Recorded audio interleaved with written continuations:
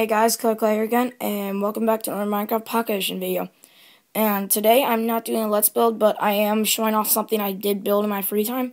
I built a snowman because of it being winter and stuff.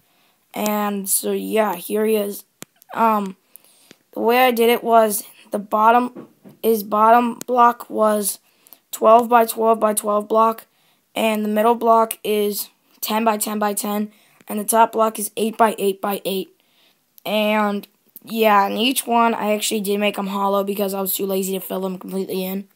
See, look, as you can see, hold on. That one's better. As you can see, it's completely hollow on the inside if I could get in there. See how hollow it is? Yeah. Um, so yeah. Um, let's get these blocks filled back in real quick. The only one that's not, like, completely hollow is the middle block because um, I screwed up on it because originally I made it 12 by 12, then I made it 8 by 8 right here, not thinking about the actual size of the head.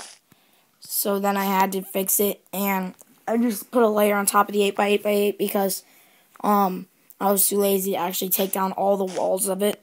So here's the inside of it after you go through the two layers. Um, so yeah, I'll most likely be releasing another Let's Build either later today or um later today or tomorrow. And tomorrow is Christmas Eve. So I hope I'm as I hope you guys are exci as excited for Christmas Eve as I am. And I know I am really excited for Christmas Eve.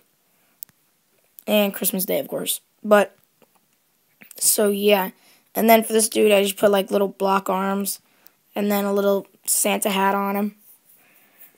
So, yeah, and they gave him a creeper face and some buttons on his belly. Um, so, yeah, I hope you guys enjoyed this video. My name is Killer Clay, and I'll see you guys all later.